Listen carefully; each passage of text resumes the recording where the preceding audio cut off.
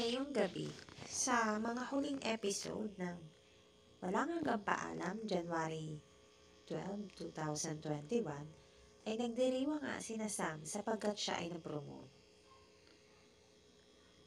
Habang si Silly naman ay nag-iisip pa rin tungkol sa naging usapan nila ni Eman na nagpapabilog nga ba siya kina Anton Mapapaikot nga ba siya ng mga ito dahil sa kanyang pag-asa na maaaring buhay pa ang kanyang anak? At nang malasing na nga itong si Sam, eh, uuwi na sana siya, ngunit itong si Kalo, eh, presentadong tarantado na ihahatid siya nito pa uwi. Ngunit lasing na ito, kaya't inawat nila ito na huwag na siyang ihatid. At dahil lasing na nga itong si Kalo, eh, kung ano-ano mga binanat ito, na huwag na nga daw ipilit ni Sam ang pagmamahal niya kay Eman sapagkat hindi na daw talaga ito may ibabalik sapagkat mahal nga daw ni Eman si Celine. At sinasabi niya ito dahil itong si Kaloy ay mahal naman niya si Sam. Habang itong si Celine ay makakakita ng pagkakataon dahil ginawa ng paraan ko noon ni Anton di umano para makausap niya ang mama nitong si Araceli. At muli ay itatanong ni Celine, sino nga ba talaga ang heart donor ng kanyang, ng kanyang apo? Ang anak nga ba ni Celine? Ang naging heart donor nito. At syempre ay itatanggi niya pa rin ito.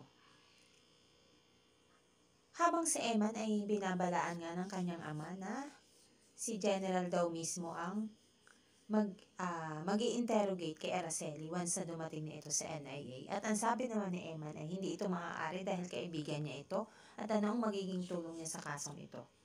At ito na nga si Colonel ay nandito na nga sa bahay ni Araceli at susunduin na niya ito at siya daw mismo ang mag-guide at maghahati dito sa NIA.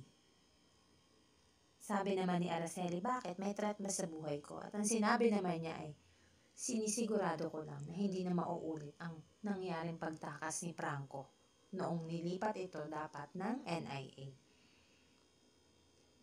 At bago sila tuluyang makaalis ay darating naman ang mama ni Celine at dito ay susumbatan niya si Araceli.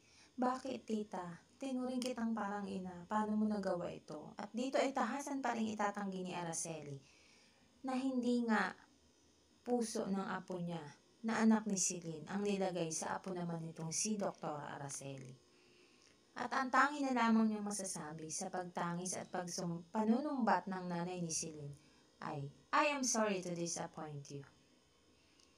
Pakatutukan natin ang mga susunod na eksena na talaga namang kaabang-abang. So, bawat gabi, huwag tayong makalimutan tumutok dito.